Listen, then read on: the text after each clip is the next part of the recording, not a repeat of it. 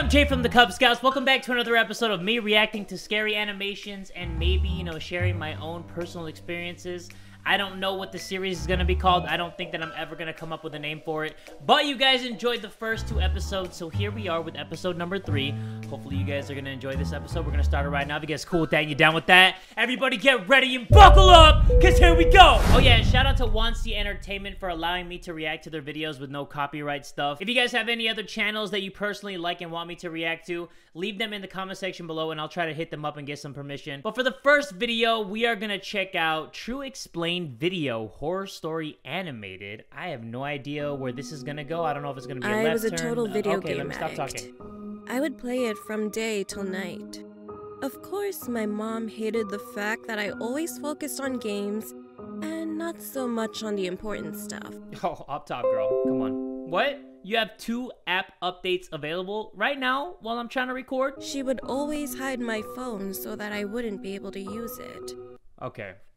This reminds me already of my own personal experience. Okay, so when I was younger, I loved to play video games. I would play it all night. I'd be waking up, I'd be so cranky. All I could think about was playing video games. It got so bad that my dad would take the modem so I would have no more internet access. He would take the modem, you know, where you just unplug all the stuff from the back and then take the physical modem. He would take that bitch with him to work. So I would come home and then I would still have no internet. You know, I couldn't go on any browser. I couldn't talk to any of my friends. I didn't even have a cell phone back then, so that was the only way I could talk to people was online. And I couldn't go on the internet because he would take the modem with him to work, and he would come home like at 6 p.m.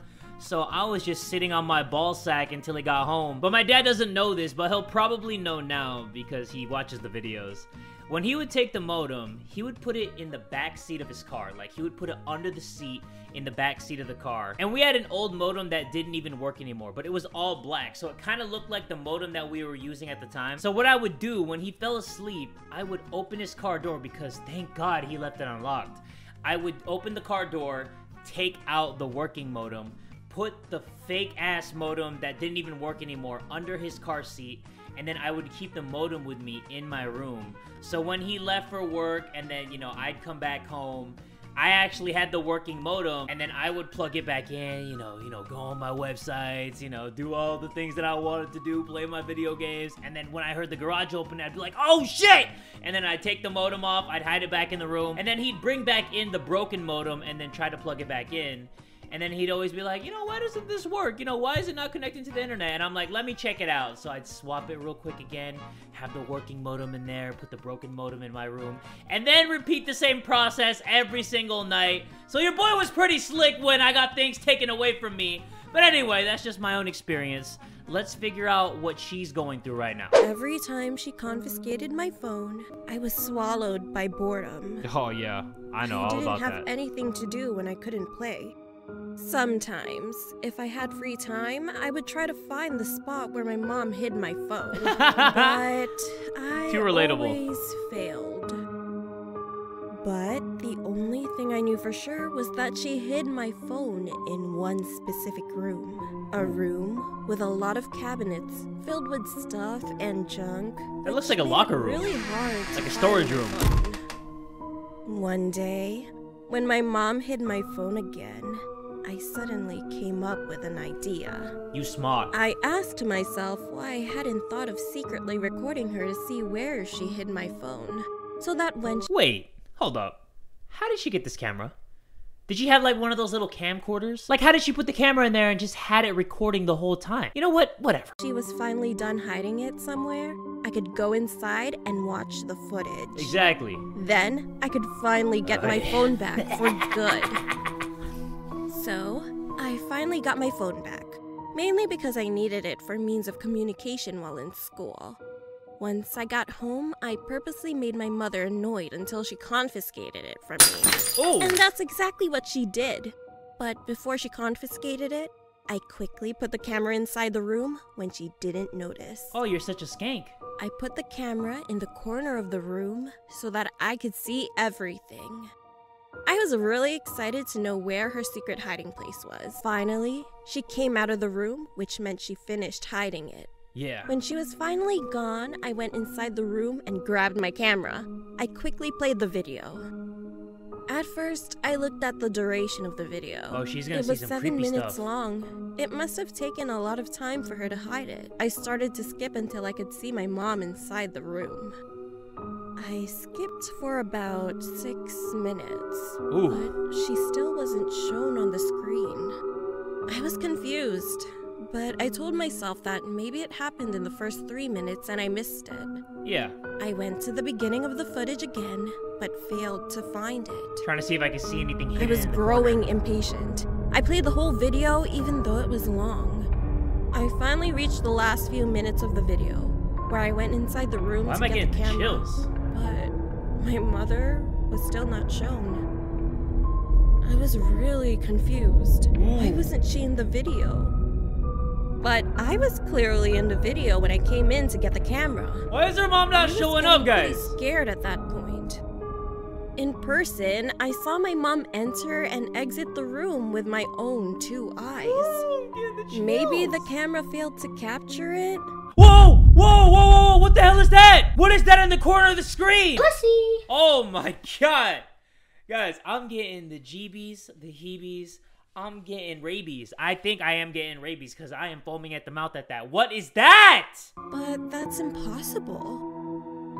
Oh my god! My and she's not even gonna mention it? That I Baby was girl. quieter than before.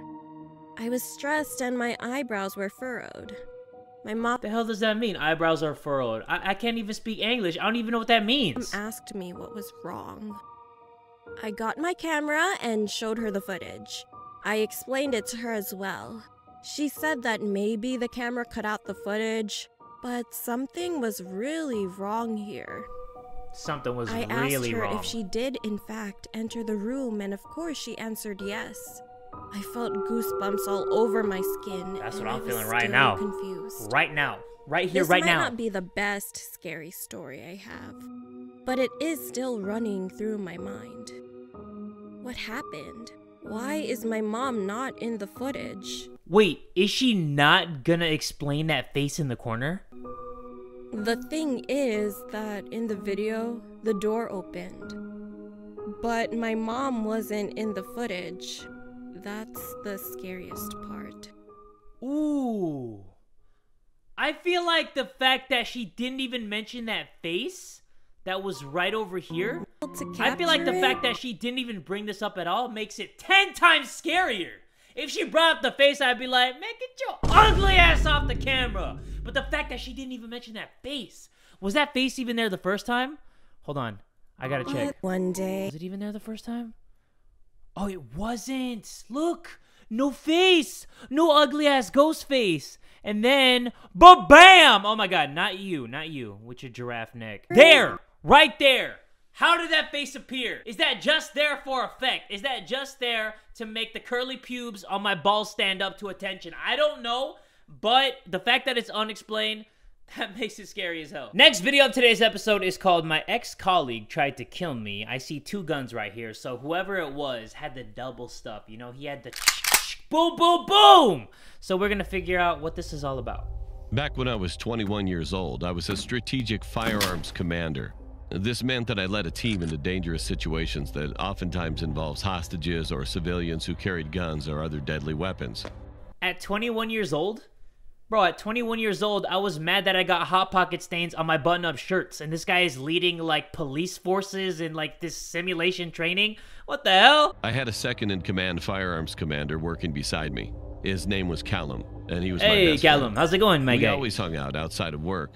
And While on duty, he would always joke around and make us crack a smile, even when we were dealing with pretty distressful stuff. Really? That's the guy I expect to protect me? a case where a man had possession of a firearm, and we were assigned to take care of it. Callum seemed particularly eager and jumped out of the van before it even came to a full stop. When the rest of the team Okay. reached the scene, the man was already shot. Damn! Callum still had the gun in his hand. Soon after, I asked Callum why he was so eager to do it. And then he said he had no specific reason. He was just excited. He was just thirsty for blood. I believed him because he was my best friend. Later on, when I was looking at the man who was shot, I looked him up on social media and realized that he and Callum added each other on Facebook. Upon further investigation, I realized that there were thousands of messages sent between the two where Callum revealed sensitive information about several operations. I knew that he killed this man on purpose, but I had no way of proving it. He was taken to court and was sentenced to three years in jail for perverting the court of justice. I testified against him and was no longer his friend. Yikes, ex friends. When I was 24 years old, I was still on the firearms team. All that happened with Callum was behind me, and I was happy with my life. One night I went home really late after work. As I walked to my apartment, I realized that it was trashed. Knife will win the couch, guys. That's when you know it's a done deal. That's a game over. That's a GG, boys. I called the police and they reported it, but there was not much they could do because I didn't have a CCTV. As I got into bed, I saw that there was a note on my bedside table. Remember me. All it said was, Who with the evil "Remember me?" face? That face is so goddamn evil. I instantly recognized Callum's handwriting. And now that he was out of prison, I thought that he would move on with his life. I was so wrong. This was his revenge. the next day, I went to the underground parking lot and I saw that my windscreen was smashed. It was clear that he wasn't over me testifying against him. Not Soon at all. after, I also saw him near my apartment. What the I ran after him, but he ignored me and ran away. bitch made. I tried calling his old number, but it was no longer in service. Then an envelope was sent through my door, and it contained hundreds of photos of me at work, home, and even out with my girlfriend at clubs and restaurants. Wow. These were all taken very recently. The last one, though, was a picture of Callum and I from years ago, and on the other side, written with a big red marker, were the words, You're dead. Well, you got to go right to the cops after I you see that. I reported this as stalking and hoped he would end up back in prison. The police had gone to his listed address, but there was no one there. In fact, all of his bags were packed. I knew he was still in the area somewhere, though. One day I was by myself in an unmarked car, and I saw this Toyota Yaris, and it was driving close behind me. It was my gut instinct to get the plate number checked, and I was going to. But then I got a Priority One announcement on the radio saying there was a crazy man on a bus who had a knife and stabbed someone. I turned on my sirens and blue lights and headed to the accident. As I got on the bus, he was already arrested, and the ambulance was already there as well. As I was about to leave the bus, I heard a loud bang, and a man on the bus fell down. Oh! He was shot through the window by a man who was wearing a black hoodie. He immediately ran. Bitch! I ran out of the bus and went to the boot of my car.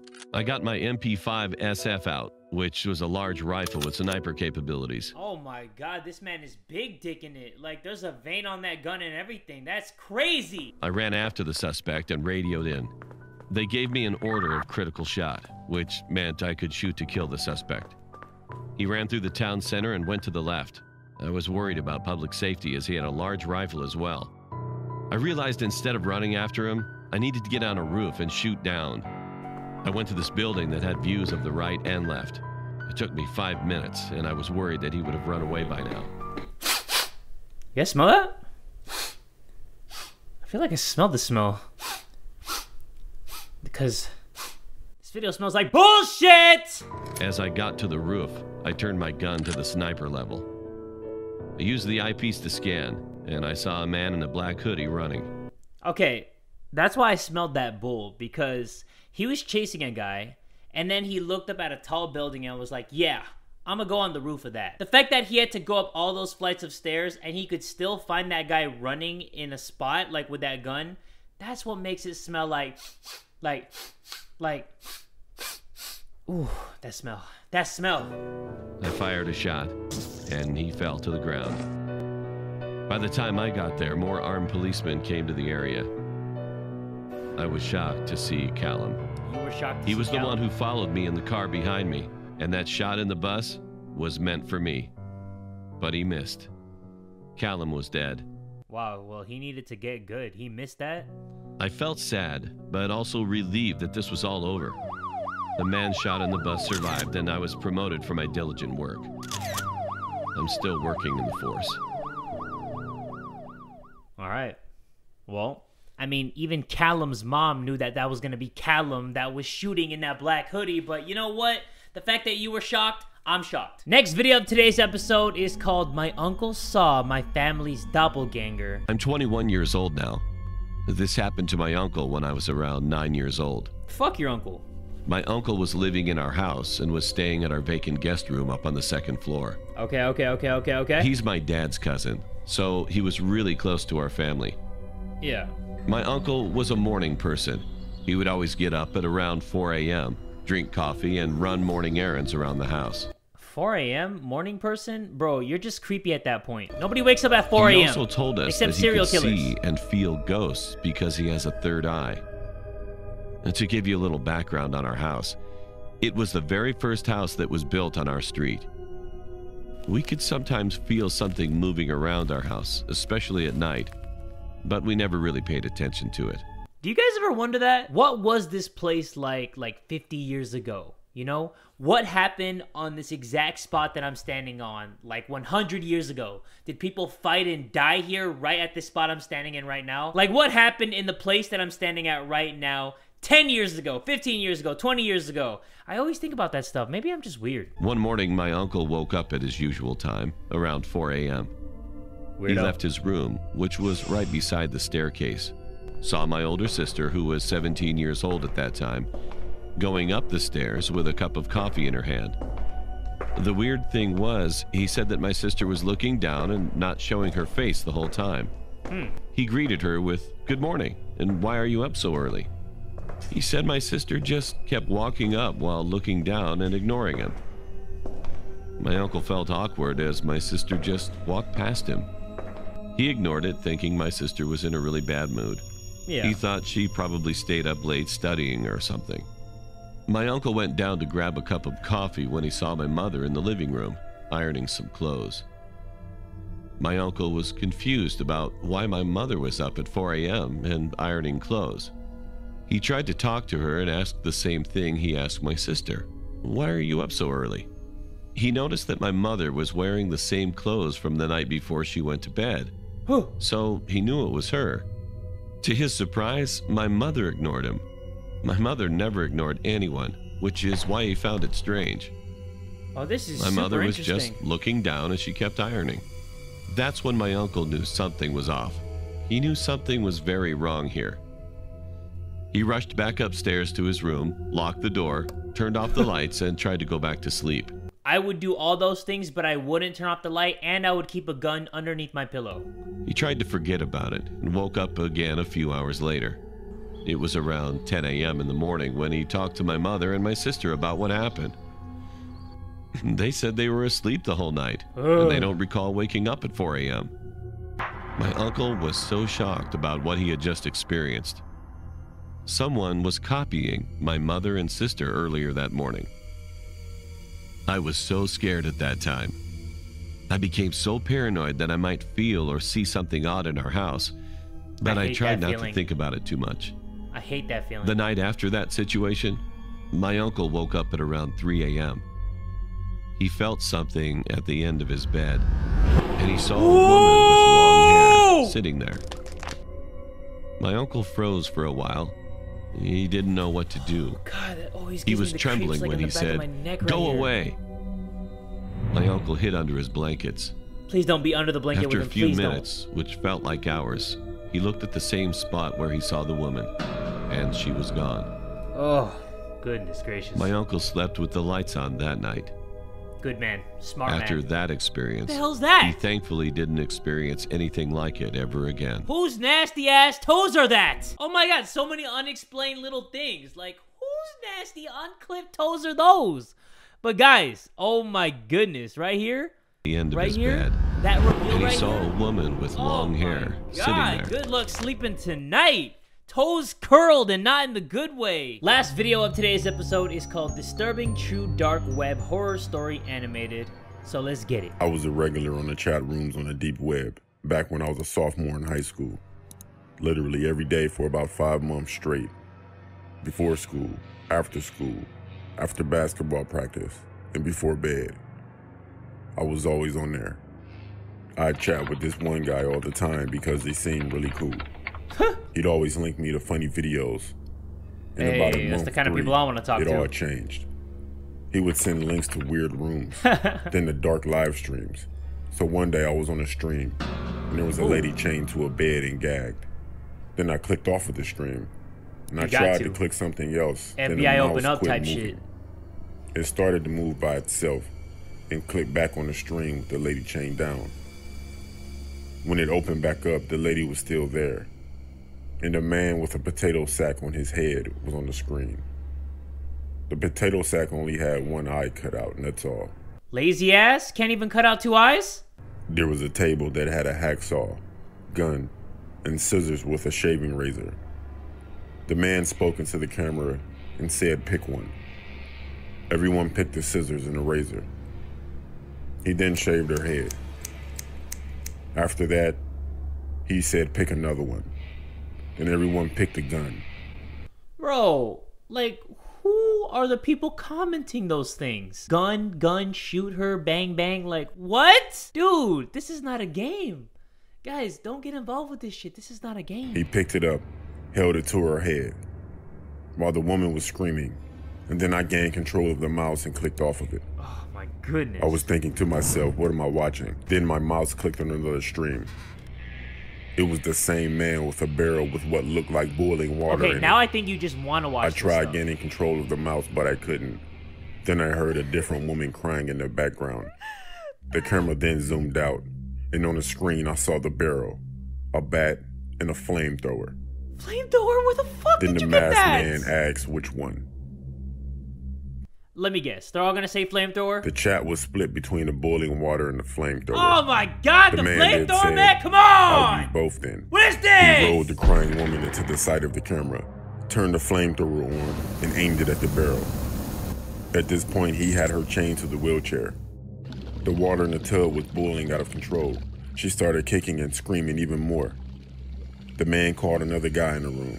They unchained her, picked her up, and threw her toward the barrel. Oh my The screen then went black, but I could clearly hear the woman screaming and splashing. For about two minutes, that's all I heard. Then it stopped. The screen then came back and it was focused on the barrel. The two men just stood there, staring at the camera, breathing heavily. And that woman.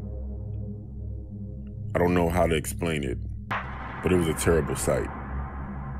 Then the stream ended. I closed out of everything and I sat there in silence for a while. Honestly, that wasn't my last time on the dark web because Again? I honestly enjoyed it. Plot twist. Plot twist of all plot twists. M. Night Shyamalan didn't even see that coming. This fool enjoyed that? The whole time he was struggling. Ew, I have no control over my mouse. And he enjoyed that now? Wow, man. Wow, the stone's on you, huh? There are a lot of people out there like me, more than you think. Be careful about going on the deep or the dark web. He really enjoyed that. Alright, guys, that is gonna do it for this episode of me reacting to animations and just talking to you guys. I think that's my favorite part of these videos is just like sharing my experiences, my opinions, and then reading you guys' own experiences and opinions in the comment section. So just keep them coming because I do enjoy reading them like when I'm laying down. I'll be scrolling through and just reading you guys' experiences. And that's a big like time killer for me. Like I enjoy reading what you guys have to say. Also, let me know of any other animation channels that do this type of thing. I will try to hit them up and get some permission. But shout out again to Wansee Entertainment, always coming through in the clutch. Letting me react to the videos. Go check them out if you want to see their whole library of videos. But if you guys want to see more episodes of this series in the future, make sure you guys give this video one big fat like. And tell a friend today that Jay from the Kubz Scouts is that dude!